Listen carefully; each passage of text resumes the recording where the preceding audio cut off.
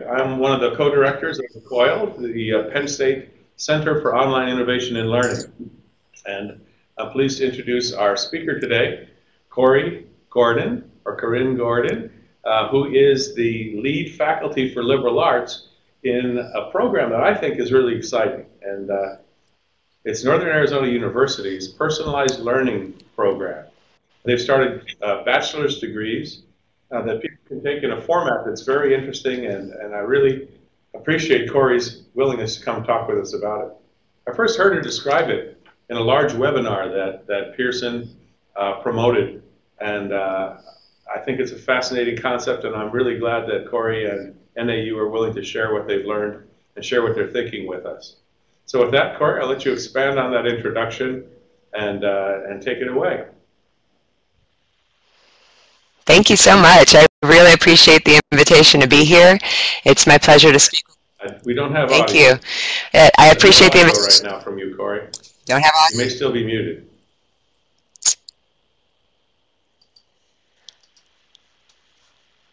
Uh, no, I don't- I don't believe so. Top of your screen there. We did a did a sound check, and we'll uh, get this going here.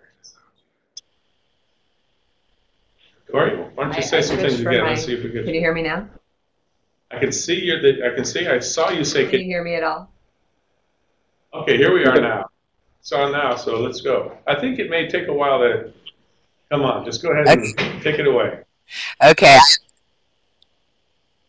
Can you hear me? No? Yep. You can. Okay. Sorry about that. Well, thank you very much. Excellent.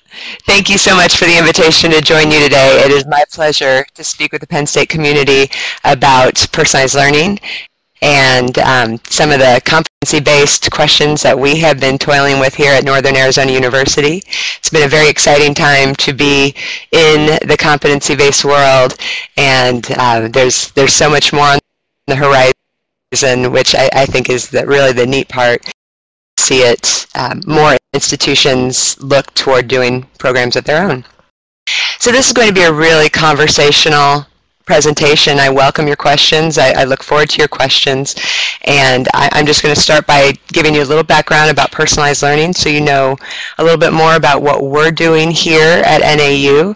And uh, then I, I would like to open it up for questions and, and see where the conversation takes us. NAU's personalized learning, we are um, one of the new kids on the block. We have started enrolling students June 3rd, 2013. So we're just now about seven, eight months in with students. And our student population, we presently have um, over 100 students actively enrolled in three different bachelor degree programs. Um, let me know if you can't hear me. The, uh, the we Ahead. we uh, we launched with three bachelor degree programs.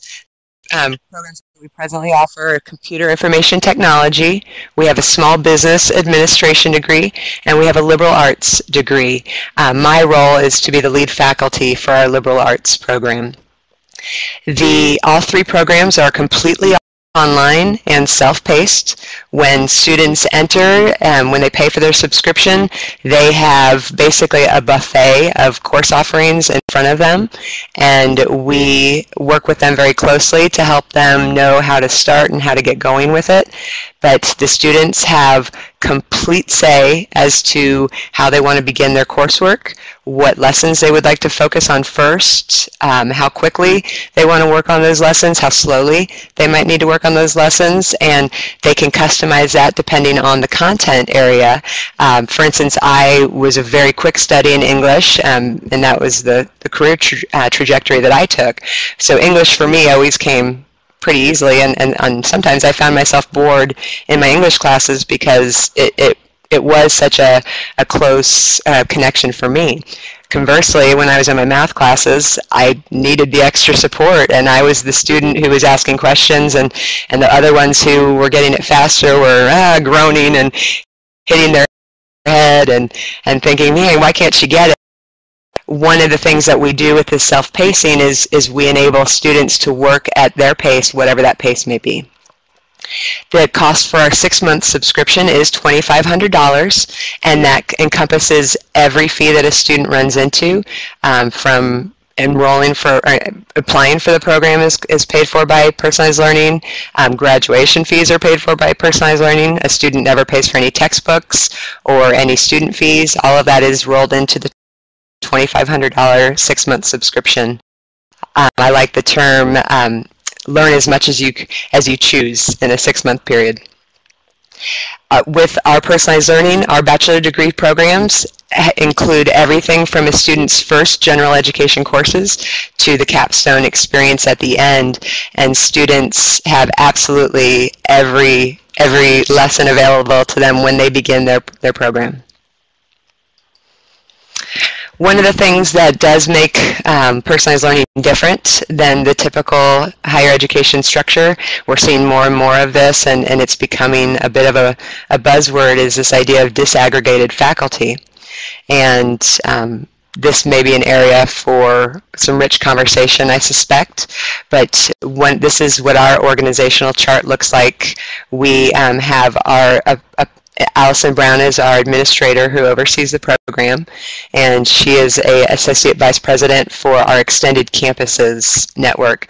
I always mention that we are part of our extended campuses because I think that was a decision made by our inaugural team to house us in a our satellite system rather than our main campus, I think it gave us quite a bit of autonomy and ability to experiment. In some ways, it's not as easy when you're on um, a traditional four-year residential campus. So we're, we're in our extended campuses. We presently have three lead faculty who oversee the three bachelor degree programs. And then below us, we have faculty mentors. The role of a faculty mentor is, is, has one foot in the student services world and one foot in the faculty world. That person is connected to students in a very, very um, complicated, intricate way. The faculty mentor is the first faculty member to reach out to students when they begin our program. They are the ones who build that relationship. When I was serving as our faculty mentor for our first students, I could tell you how many kids my students had. I could tell you the type of um, career ambitions they have. I could tell you um, the types of things that are going on this week in that particular student's life, why that student might be doing a lot of work right now or might be backing off of the work submissions. So that faculty mentor is the student's closest ally as the, the go-to person. And I, I, always think of the faculty mentor as an air traffic controller because it, it, when a student comes to the faculty mentor with a question, say it's feedback about a test or um, I have a financial aid question or um, I wonder about you know, I have a life situation going on, who can I talk to about this? Our faculty mentor is the person who directs that student to whomever needs that whatever resource we have available to help. Below the faculty mentor, and it, it's not really below, but um, on the organizational chart it, it, appears to be below, but the subject matter faculty is a um, part-time role for us. We don't have any adjuncts, but we do have half-time faculty. And it's important for us to have at, um, the half-time versus adjunct because we have these faculty work for us 52 weeks of the year. They're on 20, 20 hours a week or 19 hours a week to be technical. Um, and they are the person who is there when a student has a question about math or English or um, the subject matter disciplines. That person can step in and say, okay, it's time for one-on-one -on -one conversation. This is, I, I, I'm going to look at your test that you took, you submitted yesterday in statistics. Here's where you, I could help you refine your skills. Um, the person is a go-to for questioning. That subject matter faculty is, is very, very typical um, role of the, the traditional faculty member. But rather than standing in front of a lecture class and, and presenting to 20, 40 students, that subject matter faculty gets to work with students in a one-on-one. -on -one. I always think of the subject matter faculty role as the type of conversations you have with a student during your best office hour session. When that student comes to you, is eager to understand a concept, the faculty mentor, I'm sorry, pardon me, the subject matter faculty gets to take that bit and run with it and, and have that really cool one-on-one conversation. We also have our graduate assistants and graders who um, help with our the, the grading of the work that comes in. They are um, we have several who do that, and it's their full-time, it's actually a part-time position for them as well. But as our student numbers rise, those positions will become more, um, there'll be more of them and, and probably have more hours available as well. But they do the bulk of the grading, and they also help connect students if they see something in the grading where they can connect you with the subject matter faculty, that's, that's what they do. But one of the, the things with this unbundled faculty role is um, keeping a really tight, cohesive team and knowing you know who does what, but also who does what really well. And that's the as we get bigger and, and, and we're seeing some, um, I, I, wouldn't say growing pains, but we're, we're getting more and more data in the very recent months as we have more and more students, we're um, able to really fine tune this, how these disaggregated faculty roles look, how they work, what are the distinctions, where the, the overlay. So it, has been a uh, it's a fun new experience right now to see how these roles are evolving and, and, and taking on their true shape. So this is really of personalized learning that makes us extraordinarily different than your typical model. And typical, you know, any, anymore there's, I don't even know what typical really refers to, so I, will I'll try not to use that term again. But for us, this is, this is how a student enters the personalized learning experience. Um, it's important to mention that lessons are actually not a course. A lesson, all of our lessons are interdisciplinary. We, um, as we were building our content, we looked for ways to align um, as many different disciplines as appropriate within the umbrella of a lesson.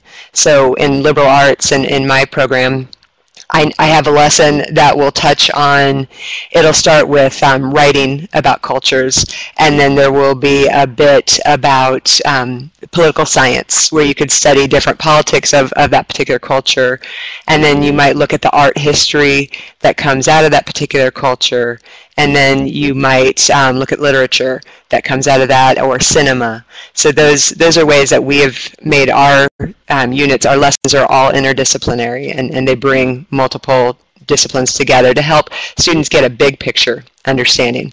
When they enter a lesson, the first thing they see, and it's the only thing they can see in the lesson, is a pretest. The pretest is um, as rigorous as our post-test. When we were building, we were actually, as we were developing all of our post-test assessments, we were also creating the pretest. So they, they look very, very similar.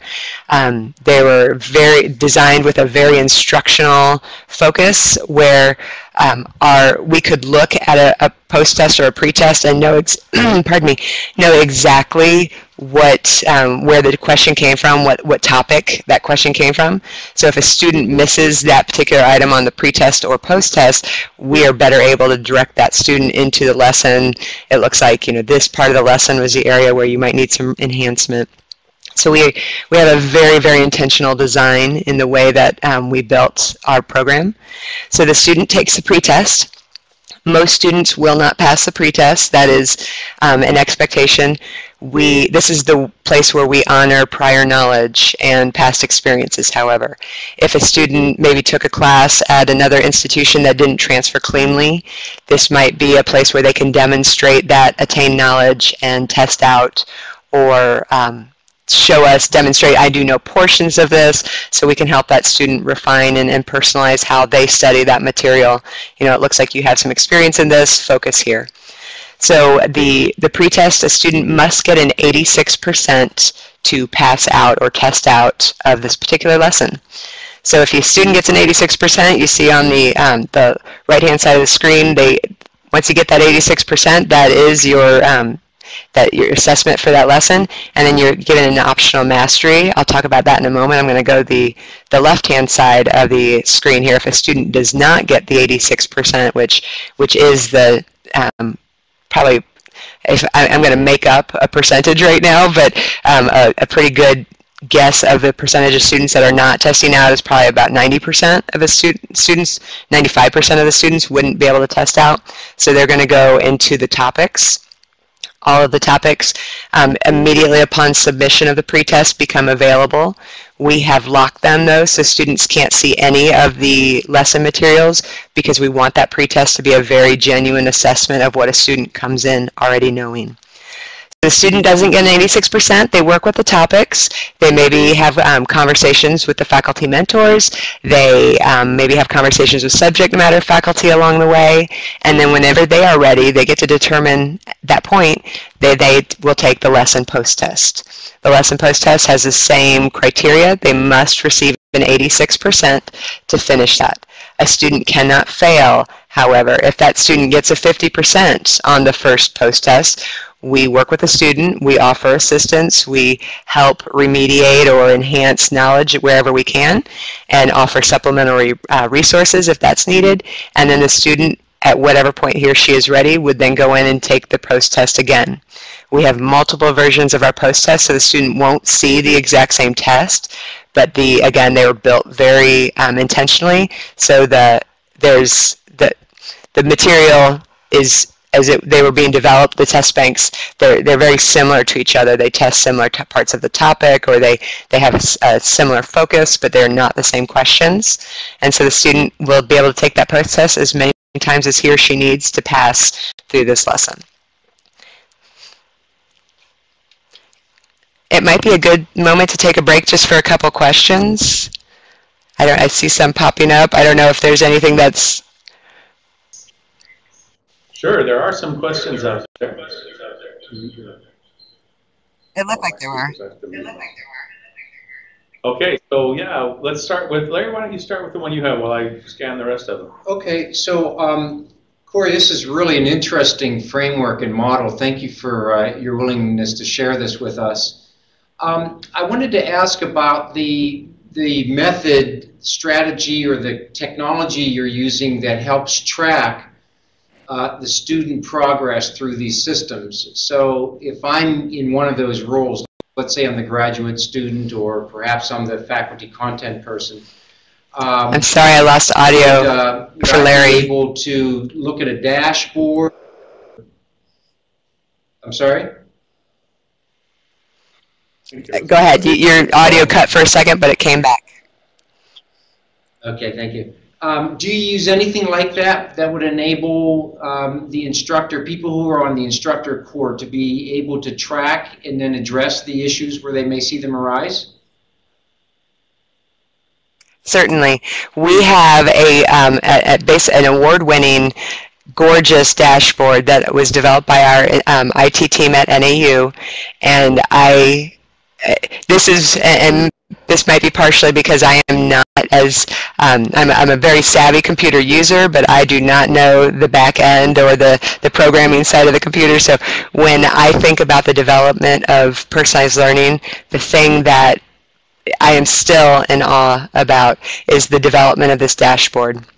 And I do have several slides that I'm going to get into, and I'll show a closer look at it specifically, do you mind if we come to that in just a moment and, and then we can pick up with that question again?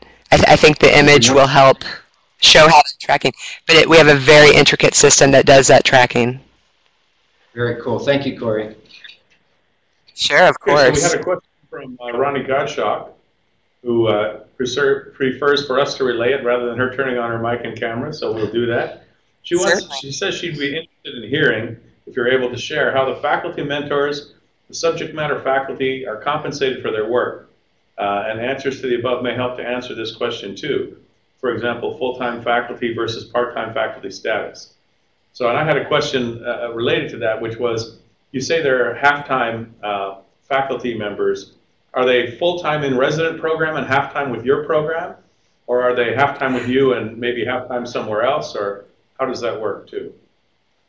All of our faculty at uh, in personalized learning are all specific to personalized learning. Um, none of us, we do have a faculty member, we have two, a couple faculty members who have moved over from other disciplines to, to work with us, but um, our part-time faculty are, are, just 19 hours a week with us. Um, in some cases, uh, we are, we're a little different than I think um, typical trajectories in higher education and other in other industries, um, we actually do we, our part-time faculty, we are constantly looking for ways to turn those part-time faculty into full-time faculty. And I know that's not always how it works at institutions. Sometimes if you get on a, you come in as an instructor and then you might be able to become a senior instructor or a principal instructor. But um, with us, we, we really want the people that come in and, and are dedicated and committed and, and growing with us to be able to move from a part-time role to a full-time role. Um, so for most of my part-time faculty, I know that they teach um, adjunct courses at other institutions or have other types of um, work that help supplement their part-time status. Our full-time status, um, and they are paid hourly. They they're with us 19 hours a week um, every week, so they do get a pretty consistent paycheck, 52 weeks of the year. Um, so that that's one of the things I think is a little bit nicer than um, having been an adjunct myself. Um, I think that's one of the things that's nicer. You have those months in June and July or December when there's no money coming in um, because you don't have a class. So I, I really appreciate that structure for our part-time faculty that they they do have a consistent paycheck every every pay period they have a paycheck and they do have the opportunity to become full-time with us if that's if that's if that's what they choose great thank you i think that summarizes all right questions posted Perfect. Well, I'll jump into the next part here. Um, with the lessons, I'm going to explicate the lessons a little bit. Um, our lessons are broken into, um, every single lesson has a lesson guide, and that lesson guide serves as a syllabus for our students. It shows every single resource that a student will be engaging with, um, from the readings to the PowerPoints to any type of videos or um, music, anything like that that might be brought in will be listed on uh, lesson guide. There is um, the pretest as all students will begin with. And then the topics are broken into uh, readings, exercises, multimedia, presentations, assignments, discussions. The reason I, I mention this is one of the things that um, we were careful about with personalized learning is, is that it would become too, um, just become an e-reading experience. And, you know, that you lose when you're in a classroom with students, you have these engaging activities, these things that, that get communicating with each other, get them talking to you as an instructor. So we looked for as many ways, as many modalities as we could put in our topics uh, to help give the students. We really want to honor student preferences and learning. So we will have a reading that is, um, in some ways, will be um, duplicated. The content will be repeated or reiterated in a different way in the multimedia. And then we might have it reiterated in a different way or a similar way even in the presentation. And the reason we do this is, is we want to offer as many modalities as possible because we recognize that students do have different preferences in the ways they learn the things that in, they enjoy in, interacting with. So um, our goal is to have as many modalities as possible to further personalize their experience. Um, you know, sometimes you have to read the reading to get the content, but in other cases you might be able to skim the reading and get the material from a video if that's how you prefer to learn. So we really, um, that's a very, very important thing for us is to have as many different modalities as possible and um, you know, it's you'll see it throughout every every topic and every lesson in personalized learning. The student then takes a post-test, and you know, I, I realize on the last slide I didn't talk much about the mastery activity, and, it's, that's probably an oversight of mine that I should address. The mastery activity, when a student tests gets an 86% on the pretest or post-test, that student will have a B transcribed onto his or her transcripts. In order to go for an A, that student must complete the optional mastery activity, and those mastery activities are extensive projects, papers, um, different types of you know certifications for some of the degrees. For the CIT degree, they have some of them are certifications. So the student has the opportunity to get an A on their their not report card but their transcripts, and um, that in order to do that, you must do the mastery activities. I think that's an important clarification on that since we're giving the 86% as our, our passing benchmark. That's how you would get it, go for an A if you wanted it. Probably the biggest question is how do you even start? Where, I mean, it's, it's a monumental task and um, we we had a team of 10 who were dedicated on this project from the beginning. We were all full-time. None of us had any other um, things on our plate. We were dedicated to developing this personalized learning program. We were able to do it in about a year's time. It was probably about six months of planning before the faculty we were hired, but um, from one year we were able to do the, the predominance of the work. So we started with um, our traditional degree program. The, I came in as a new faculty and I, I, got to basically take a menu of the NAU catalog and say, okay, the perfect liberal arts degree, what courses, if I got to pick which courses a student would take for what I see as an optimal liberal arts degree, what, what courses would those be? And then with those 40 or so courses in mind, that was when I began my work. I took those 40 courses, I started to sift through them looking for learning outcomes. Where could we make those interdisciplinary connections? So the process we call it is um, deconstructing the syllabi. So I start with the, the the traditional courses. I looked at the types of activities that were um, already being done in those courses. I looked at the learning outcomes, and then I started to see some overlap. There are, it's very easy to, to make connections between these courses um, that a competency like writing well is going to be found in courses that run the disciplinary gamut. So we looked for those ways to connect them. pardon me, this one. So then um, we use a term COLTM that stands for competency, objective, lesson, topic, and then the slash mastery at the end is what the COLTM stands for. And so then, I'm sorry, I got ahead of myself on that screen. So we mixed all these pieces together, and then um, one of the things that worked out for NAU really well in our accreditation process and in our work with Department of Education was something that was actually kind of accidental.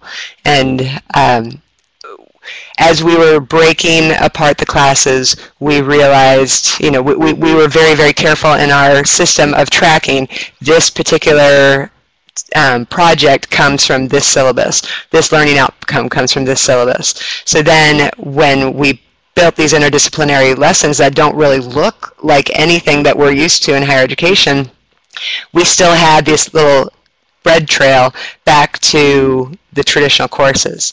Because we had that alignment with our traditional courses, it made our accreditation and our Department of Education, um, our students' right to, to use financial aid, it made it far easier.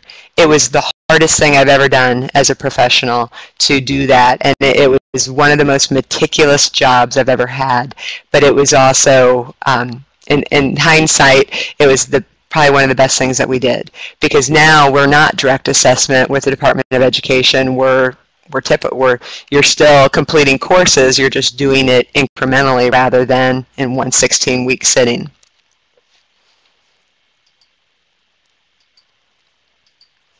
And so the competencies grew out of um, how we found alignment with the learning outcomes. Like I said, one of my competencies is to write effectively. And so that is a very broad competency intentionally so that I could, I could combine multiple disciplines underneath that very broad umbrella of writing effectively. Another competency of mine is to analyze effectively. And to analyze, you do that across the curriculum.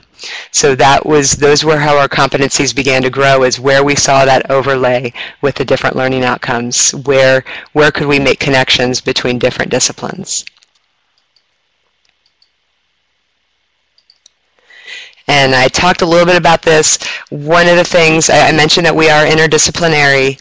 The second one here, the critical path, is an interesting thing that we've done um, that I, I think makes it for a very unique student experience. We looked for alignment within our lessons. So as I I had to actually map all of my liberal arts lessons. I took all the liberal studies lessons and looked for ways that there was crossover. So if I see, um, you know, Utopia is something that I love as a reader. So I, it, it, you'll see that in my course design because there's a few pieces. I have a, a piece about utopias in my liberal arts um, program, and I also have a piece about utopias in the general education part.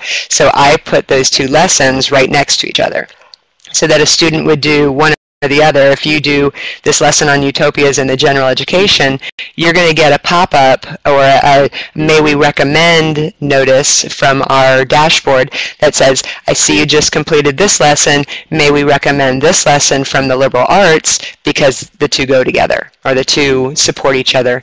And that we did, um, that critical path helps us do more scaffolding of the learning. You've just done this math lesson. May we recommend this math lesson to help reinforce what you've learned. And this is the dashboard. So before we get into that, I think it might be a good place to check for questions. Is there anything over the competencies or the, this typically is a place where there's a lot of question. So uh, I have a question, uh, and I'll let Larry uh, check the chat for other questions while I ask my question. Sure. So my understanding is you took these from the existing courses and you you put them into these multidisciplinary lessons. I, I love that, by the way. It's a great idea. Then, after they finish a multidisciplinary lesson, they do the mastery exercise, which determines the A or B. But then all those little parts are mapped back. My understanding is that in the end, they end up with a traditional transcript that actually says, like, Sociology 101. And yes. so how do you figure out if A was attached to parts that came from different classes how do you figure out where the A or B goes in the transcript? question, Kyle, and that's something that we came upon with our first students as we had our first grade push. Um, we are as different, you know, and off the regular calendar from NAU, but we do line up with NAU on um, when they do the grade push. So at the end of the winter or at the end of the fall semester, all the grades that accumulated through the um, regular courses, those get pushed onto the students' transcripts about a week or two after final grades are submitted. So we followed that same timeline, and that was the first time we realized I have a student who did there were five lessons connected to this particular course. The student did four masteries. She didn't get an A on the fifth mastery. Now what? What happens? Does that student? So that that actually was um, a, an opportunity for us as a team to think, okay, wait a second, how would we handle this? You know, and and I was one of the biggest um, voices that said, hey, if I were teaching, if I had five lessons within my, you know, five big units within my traditional course, and that student got an A out of those five and got a B on the second. Let's do basic math, and that's those are averaging. So that student does wind up getting an A for the course. So we have um, now a, a system in place where a student can do the majority. If a student gets an A on the majority of the lessons associated with that course, then that, that A would transfer. But it, it's a mathematical, it, it's so just like you do it in a class we do average them now. Yeah, so you're actually pieces back into the course, not. Okay, great. I get that. Thank you. Yeah. Now, uh, did you? Sure, so this sounds like you and, and a few others did a lot of work on the curriculum. Did you have to then take that back? This is still an NAU liberal arts degree. Did you have to take that back to the resident faculty who maybe weren't as innovative, and did they have to look it over and, and give you a thumbs up on that? We have had um, our biggest interaction. We have tried to um, remain as connected and, and, collaborative with all of our departments. There, there's not a person in personalized learning that wanted to come in and say, this is the way we do it. We don't care what you do on the campus. This is how we do it now. None of us think that this is a better way to do things. We just think it's a different way to do things. So we were really lucky. Um, we have quite a bit of presidential support um, from our campus president. He was very, very um, pro personalized learning and, and really wanted to give us the space to do it. But um, in all cases, we went back to the home department, said this is what we're doing, this is how we're doing it. All of our general education pieces had to be approved by our liberal studies committee that they met certain requirements, and that that was a, a very substantial area for conversation. The um, Small Business Administration Program undergoes the same accreditation our other business, our ground business programs go. So they're in close alignment. Our computer information technology program has the same accreditation as well. So they're in very close alignment with how it's taught on the ground. So there was quite a bit of collaboration.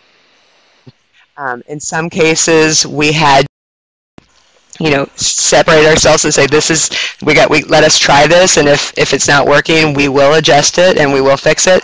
So there, there was a little give and take. We made sure that our response to our other departments is it, it was always and will continue to always be we want to collaborate with you. We take your your concerns very seriously. We if there's something that we can do differently we will consider it.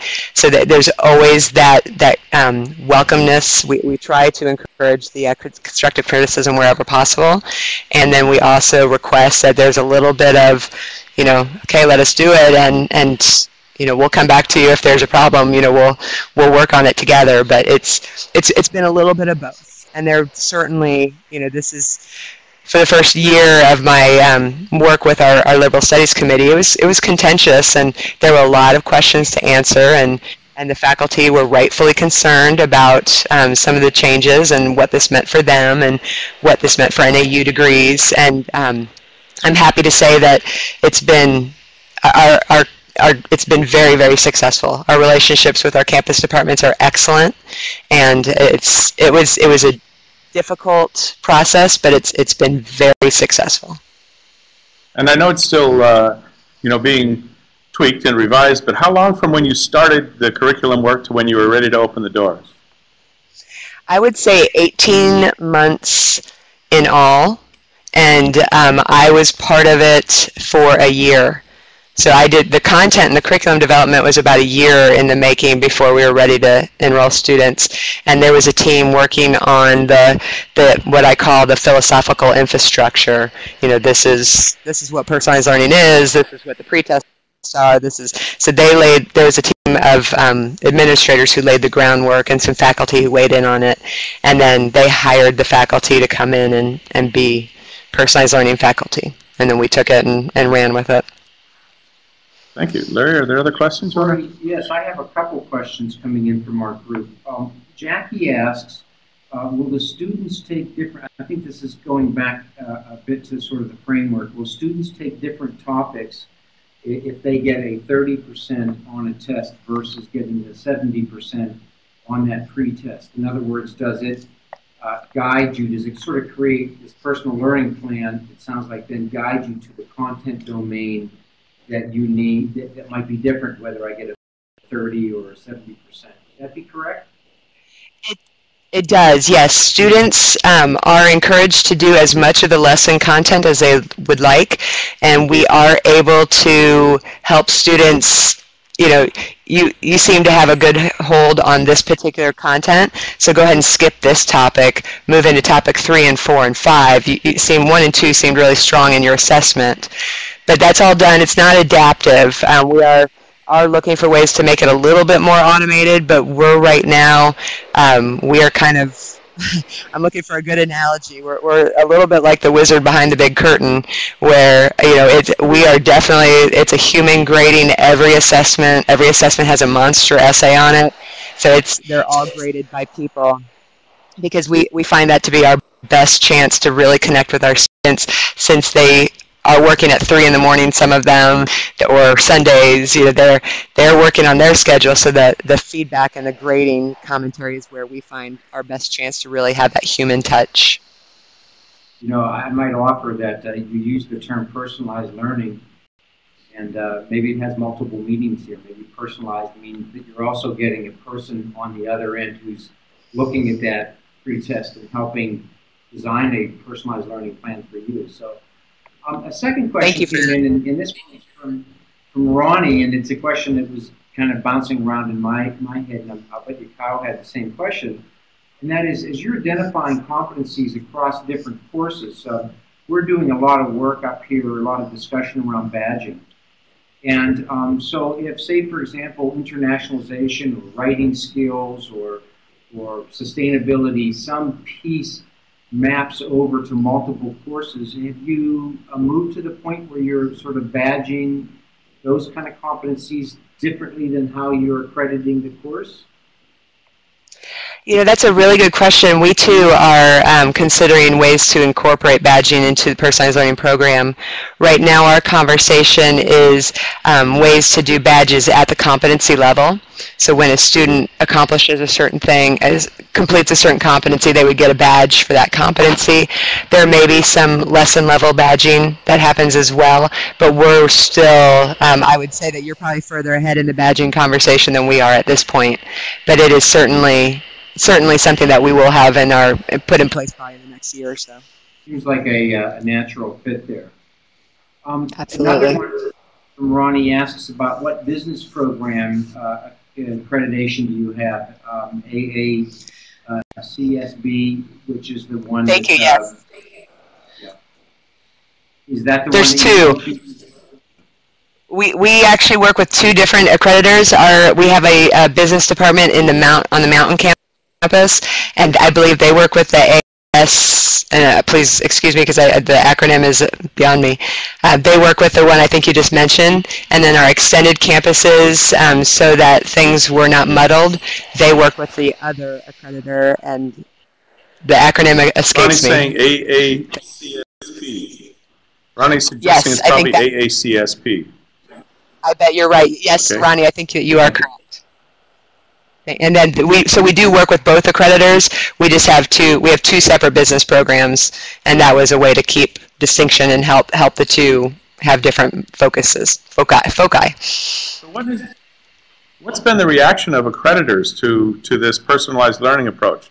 On the one hand, there's great fear that accreditors will not be friendly, but on the other hand, accreditors were the ones leading us towards performance-based uh, kinds of measures. So uh, on the one hand, I'd like to believe that accreditors are going to be very uh, supportive, but uh, you have experience, so tell me what's what's the case.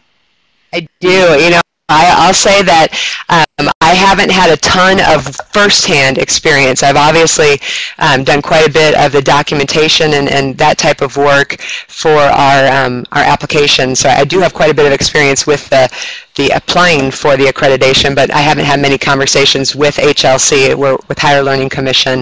Um, I think that used to be North Central uh, accrediting body, but um, HLC is our accreditor, and they were from my side of the house. I didn't like I didn't have all those one-on-one conversations, but I would say that they have been incredibly responsive and willing to work with us. Um, I, I feel bad that we submitted a 550-page accreditation application. I don't know that they were ready for that, but uh, they've they've been incredibly uh, friendly and, and and cooperative and and willing to help us refine what we're doing so that we we could be accredited. It, it hasn't my second-hand experience with this has been that it, has been a very smooth process with HLC, and they've been it, there's there's been a lot of revision and, and refinement of what we are doing based on their feedback, but we've had a really really nice reciprocal relationship with them.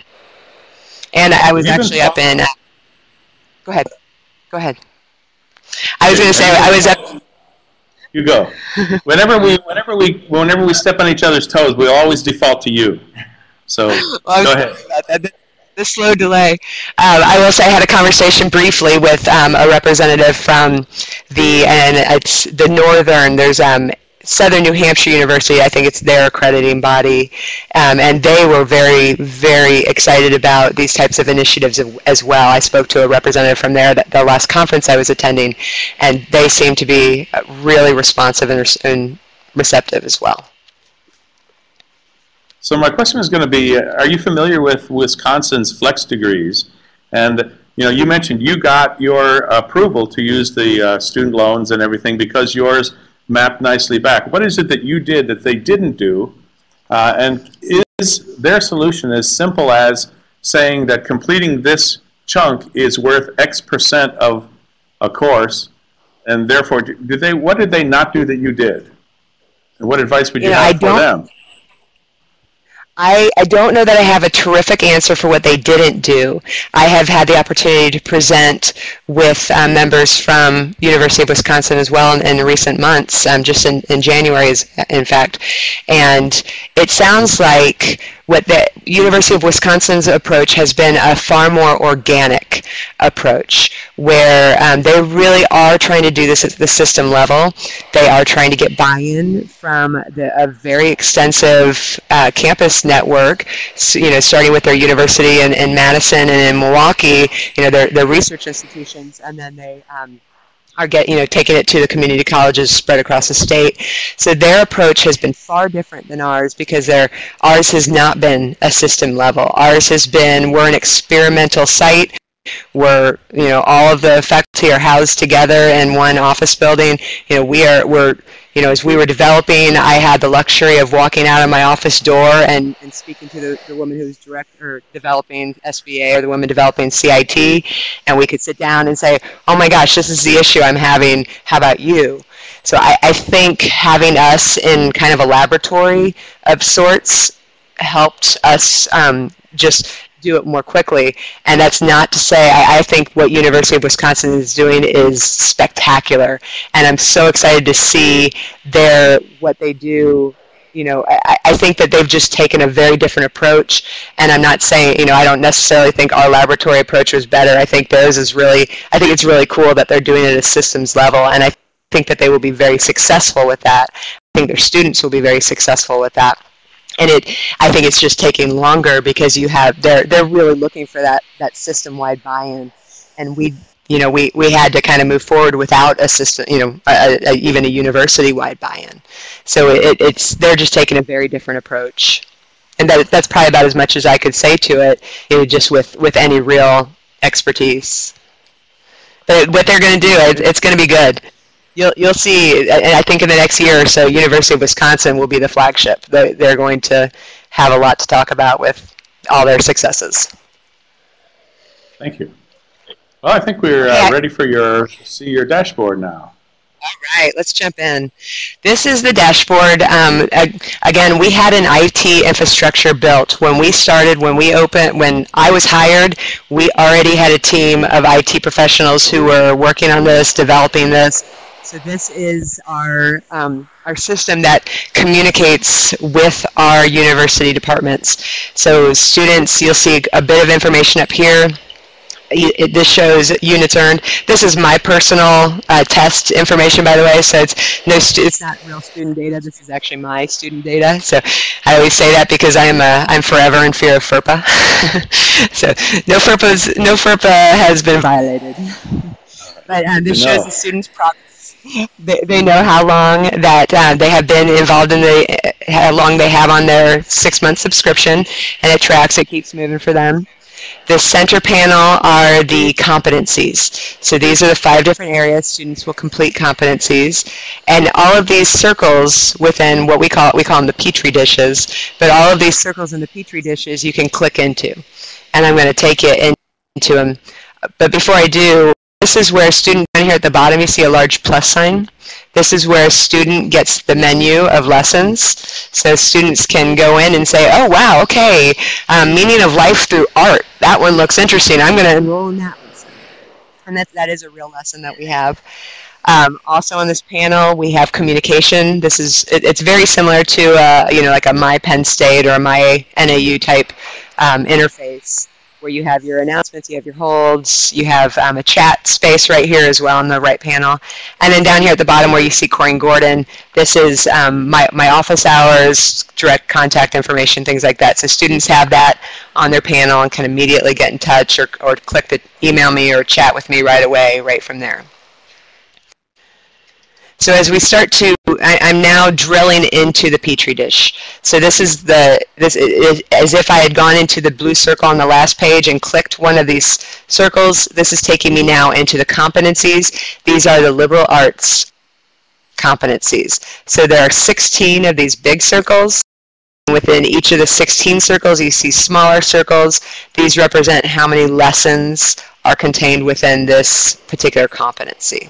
So I can drill within to the competency here. The competency one um, is working in team structures. So as you work in a team structure, I can dig down into that a little bit further and actually look at a specific, now I'm seeing the three, these are the three lessons that are associated with that competency, working in team structures. So these the three lessons are group dynamics, intercultural communication, and contemporary issues in in um, the group dynamics. And then again, I can click one more time and go into the actual. This is one of the lessons. I see there are three topics within that lesson. The pretest changes colors when it's been completed. The post-test changes colors when it's been passed. And then if a student were to pursue a mastery, this yellow star would illuminate. But again, this just helps the student see, kind of have a, can drill in and see what relates.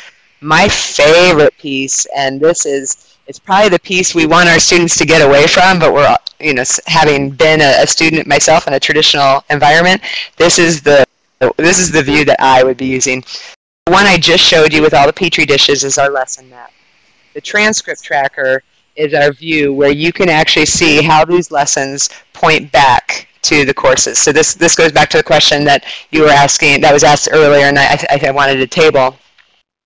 I can look at, these are all courses. We have adopted, um, one of the things that helped our relationship with our NAU campus departments was that we had a slightly different uh, prefix for our courses. So right now we actually have a four letter prefix where all of our mountain classes only have a three letter prefix. So that's so that um, in transcripting, it would be easy for them to tell, okay, you took this course through personalized learning, you took this course through the NAU Mount campus. So there's it, it, that helps keep that distinction from them. That was a really important um, detail for our mountain campus faculty to have that until they knew and, and had some data. They wanted us to have that separation. We do hope in the next year or so that those will go back to being a three-letter prefix. But for now, it's it's fine by us because it it works well. But you'll see, um, you know, under the CSTU 272, there are five little segments. That means that there are five lessons that are, are comprising this particular course. And what's interesting is you'll see if I not clickable. This is a, um, a, snapshot of the dashboard, so I can't actually interact with it. But if I were to click maybe this first segment of art history, any other segments, so if art history was lining up with this communications course, which I think it does, then when you click this segment, it would also illuminate a segment under that course. So you might take one lesson and it might complete a portion of three or four different courses depending on how many disciplines are brought together. But this is my absolute favorite view. When I'm consulting with a student and helping them, you know, if they want to be intentional about how they're completing lessons so that they're actually knocking off courses, this is where I point them. So you say, okay, I know that if I do this lesson, I'm taking out this part of this course, so I'm going to go on to the next part so I can take out, finish taking out that course. But that's my favorite. And then the second thing we're doing is providing a competency report. So our students will graduate with a traditional transcript, and they will also get a competency report. So they'll have both, and we hope this is where badging is going to happen, is on this competency report as we um, as we incorporate those probably very soon. Those badges will appear on this report as well. So a student could show a future employer, you know, that I completed this particular these particular competencies. Here's a badging that I, I received for that, or here's here a way to show that material. Um, we do have a, a, system of analytics. Is probably a bigger question. Um, with we work with Pearson, and their learning outcome manager is our, our learning our analytics system, and it is is pretty amazing what it can do. Um, we don't have the adaptive um, abilities yet, but they Pearson's working on it themselves. So they, they work with Khan uh, Academy for some of their their adaptive learning, and and we might be doing more of that in the future. But right now, it's like you said, very personal how we approach our assessment and grading. This is just our website in case you want to go in and see more um, about it. There's quite a few videos on here and, and some more explication. This is a, a student-facing um, communication. So if you wanted to take a look more about personalized learning, you could find out about the ways that we're communicating ourselves with our students, our prospective students. But now it's we all five minutes that we have left. I'd welcome any questions or. Well, we've done a lot of questions uh, throughout, so don't feel guilty about there only being five minutes left. And, and I won't feel guilty I, about asking another question. so, so the, the uh, student loan business. So there's an expectation, I guess, that someone who has a student loan makes a certain amount of progress in terms of courses completed in a period of time. So do they allow you, is it about which courses actually get completed completed? Or do they allow you to take two-fifths of this course plus three-fifths of this course is equal to a course?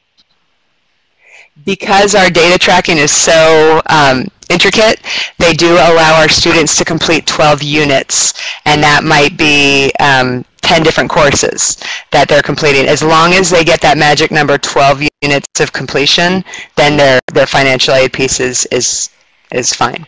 But it, so it doesn't have to be four complete courses. They can do as long as it's the equivalent because those little segments on the transcript tracker actually do have, you know, 1.3 of a, a three credit course or it's 1 point it's 1.3 credits or it's 0.6 credits or so we, we took that three credit model and, and, and divided it among the the work. So they can get as long as they get 12 units wherever they are throughout the program it's fine as long as they get 12 great thank you. Other questions? You're welcome. Uh, Ronnie Gutchalk asked uh, in the chat box, uh, how many credits or, or, courses do students typically complete in a six-month period? That is a great question. We're, um, I, I, feel safe to say that I'll, I'll, answer it in two ways. I have a couple students right now who are um, just killing it. They are in their 40s and 50s. They have had educational experience in other places they have kids that go to bed and or work that takes this part of the time, and then they have these three hours a night or in the morning or wherever they put their time, where they are like they're jamming. So I, I have a few students who have completed as many as 25 credits in a six-month subscription. Um, I also have students who are completing five and six. So it's our students are as diverse as you can imagine. We do target our, our promotion our promotional target is to the adult learner, although we are seeing more, you know, more and more of the 18-year-old new freshmen coming in. But um, our, our target audience is that adult learner who wants to do things on their own time, who wants that autonomy, who wants to have a hands-off approach with the faculty in some cases. So it, it's pretty cool. They're, um, the students that I have so far, they run from um, extraordinarily incredible amounts of work submission to you know maybe one lesson a week or, or working on this here and there.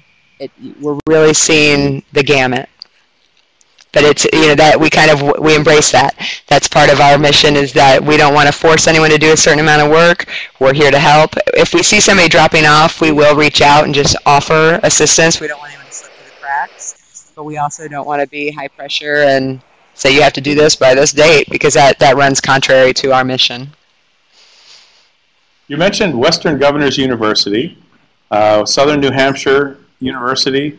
Uh, we mentioned University of Wisconsin, and of course Northern Arizona University. What other universities are you aware of that are places we should watch in terms of, uh, or emulate, I shouldn't just say watch, emulate, in terms of moving towards personalized learning and uh, competency-based and prior learning assessment? Who else is on your radar screen?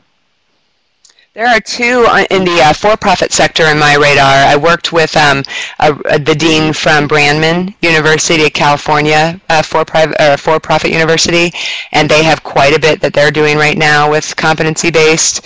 Um, I am also I've had several conversations with. Um, I actually haven't had too many conversations with Capella, but Capella is another institution that's frequently brought up in conversation about competency-based they have quite a bit going on.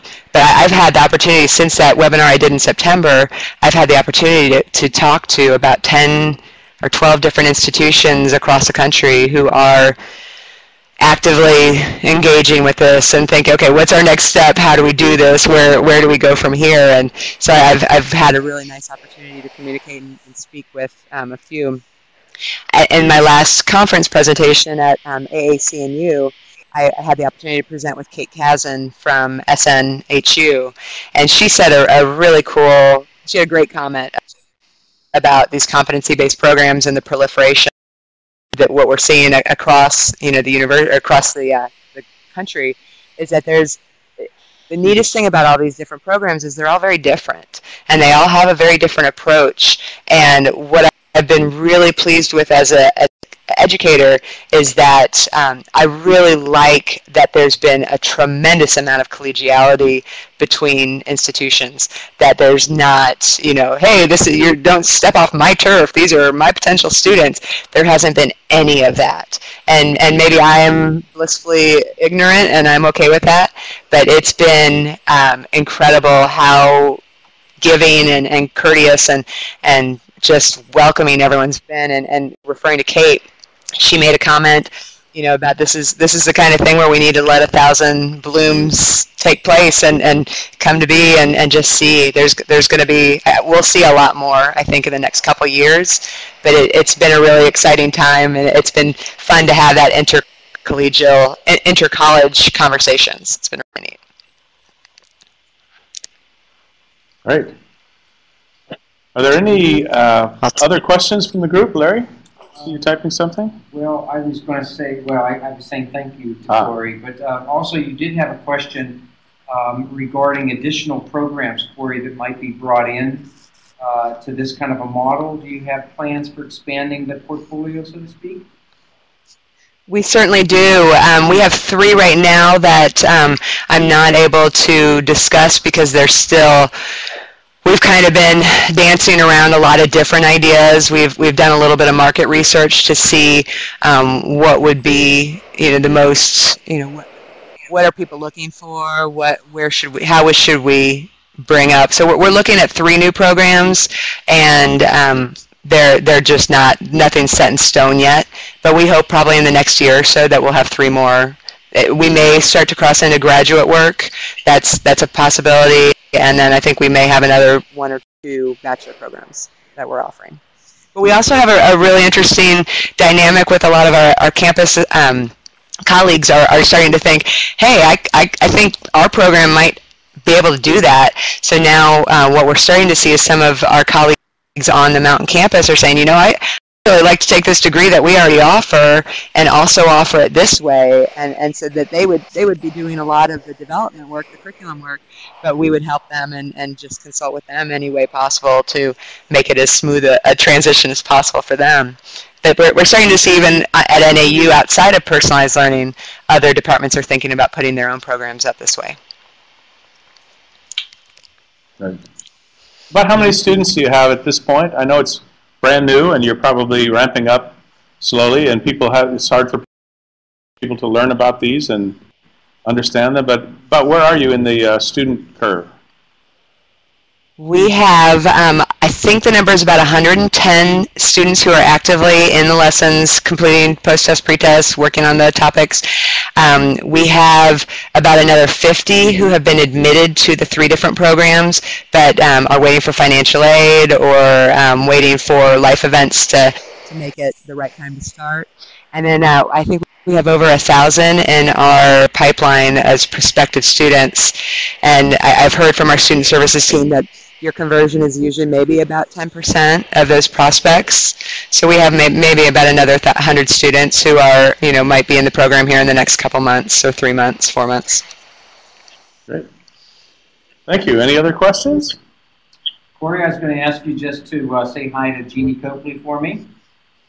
I certainly will. Did you meet Je Jeannie at the uh, uh, Penn State when she was there? She, Sloan C. Institute Yes. She, she keeps telling me I need to be there next year. you have one more question I see in the chat there, and that's uh, Jackie's asking, are there any trainings needed for faculty to become a faculty member in personalized learning? Or do you have some sort of faculty development, professional development? Yeah, we, we have a very intricate in-house system that we've developed as we were building. Um, we, we happen to have a, a, curriculum manager who is incredibly detail-oriented and, and really good about um, tracking how we did things. And so now, as our faculty mentors have been coming on, we just hired actually, we, we've had in, in the last, um, since December, We've had three full-time faculty members join and three part-time faculty members join the team. So they, the, the training that they all went was very, very detailed and intricate, and it'll, it, whoops, it, it will only get better too as, as we do it more. But yes, they, they do go through, we, we train them in-house. There's nothing external that they'd have to be trained on, you know, beyond your typical faculty uh, credentials. You know, they have to have a, an advanced degree and and you have to be service oriented. Actually, that's one of the most important things that I look for in a faculty member is service oriented, because you know we're I, want my students to have the absolute best experience they could possibly have. I want every conversation they have with the faculty to be rich and engaging and, and constructive and, and efficient. so we're really looking for that service-minded individual.